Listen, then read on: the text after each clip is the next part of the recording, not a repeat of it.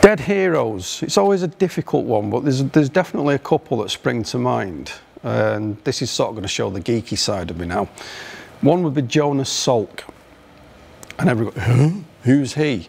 He's the guy who invented the polio vaccine, which was wonderful in itself. However, for me, what was really unique about it was that guy could have patented that formula and made billions of dollars, but he didn't. He gave it to the world.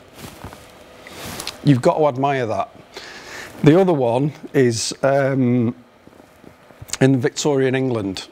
There were a lot of characters about, but the engineers were the ones who sort of captured my imagination. And there's, there's Brunel, who's the most famous, but the one who I think always gets overlooked was Joseph Bazalgette.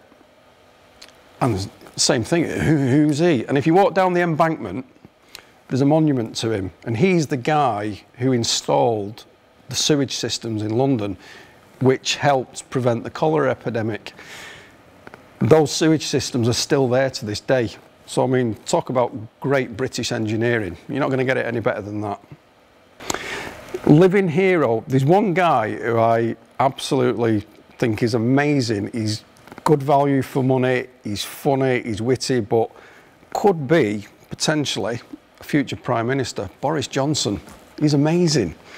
I mean, people think that he's a, this like bumbling fool, and he isn't. He's a very, very intelligent bloke, and he comes across bumbling because his brain is always like six words ahead of his mouth.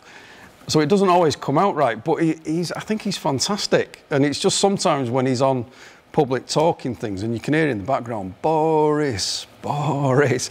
And I think he's brilliant and I'd love to see him as Prime Minister. Things I admire in people are people who work damn hard to achieve what they want to achieve because there's no success without sacrifice. That's a lesson that I learned very, very early on. So everybody who becomes something, they have to sacrifice something out of their personal life. I mean, look at Bradley Wiggins the training that he has to do just on a daily basis. I mean, the, the guy is cycling minimum 40 hours a week.